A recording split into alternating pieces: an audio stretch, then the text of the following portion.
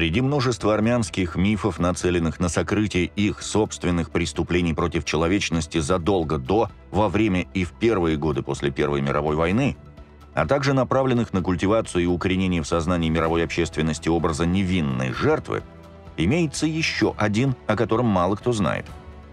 Когда армянским сказочникам говоришь, что термин «геноцид» впервые введенный в оборот польским юристом еврейского происхождения Рафаэлем Лемкиным в годы Второй мировой войны и принятый Генассамблеей ООН в 1948 году вместе с Конвенцией о предупреждении преступления геноцида и наказании за него, не существовал во время армяно-турецкой резни в годы Первой мировой войны, и, следовательно, его ретроспективное использование неправомерно и антинаучно. Многие из них приводят ссылку на слова Лемкина о том, что, дескать, он якобы заинтересовался геноцидом только потому, что это произошло с армянами, после чего Гитлер совершил аналогичное преступление против евреев. Да, действительно, по интернету гуляет видео выступления Лемкина на канале CBS в 1949 году, в котором тот произносит эти слова и которым армяне обосновывают свой аргумент о том, что якобы именно трагедия армян заставила его задуматься и изобрести этот термин – Однако сказать часть правды и скрыть другую не означает быть до конца честным. Израильский политолог, выпускник Гарварда, докторант университета Юта Таль Буэнос досконально изучил рукописи Рафаэля Лемкина в отделе рукописей и архивов Общественной библиотеки Нью-Йорка и был шокирован своим собственным открытием о том, что на выковывание термина «геноцид» Лемкин вдохновил вовсе не один единственный пример армян в годы Первой мировой войны, а десятки других случаев. В частности, среди огромной массы бумаг в его личном архиве была найдена рукопись, написанная в 1950-е годы, но так и не опубликованные книги «Введение в изучение геноцида», в которой он обозначил, внимание, 62 примера геноцидов, начиная с древних веков, продолжая средними веками и заканчивая новым временем. В списке из 41 примера геноцидов, относящихся к новой истории, трагедия армян числится за номером, держитесь за стул, 39.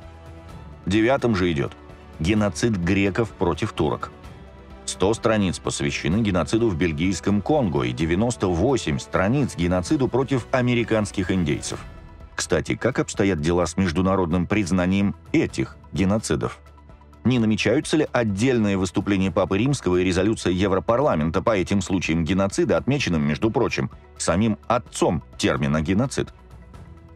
Таль Буэнос в своей статье пишет, что это вовсе не предполагает, что все отмеченные Лемкиным случаи составляли геноцид. Во всяком случае, как пишет он, статья 2 Конвенции ООН определяет геноцид именно как намерение уничтожить, а не как намерение защитить страну от мятежа или урегулировать политические разногласия. Более того, в опубликованной в 1944 издательством Carnegie Endowment for International Peace книге Ремкина под названием «Axis Role in Occupied Europe», в которой впервые было использовано слово «геноцид», приводится ряд примеров геноцида из прошлой истории. Но вот ведь беда какая. Об армянах в ней не говорится ни слова.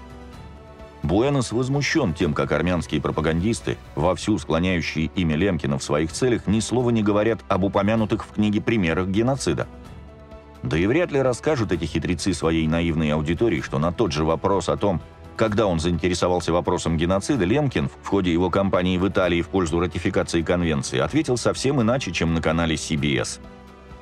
Когда я в детские годы, будучи польским школьником, прочел книгу Синкевича «Кво Вадис» об уничтожении римскими императорами ранних христиан, я спросил маму, почему христиане не звонили в полицию.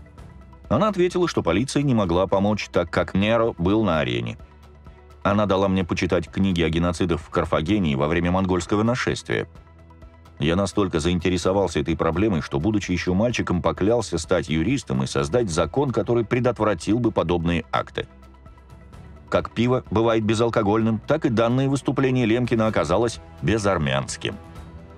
Как видим, склонение имени Рафаэля Лемкина в сугубо выборочном контексте с умалчиванием всего остального, о чем он говорил и писал – является частью армянской политической пропаганды.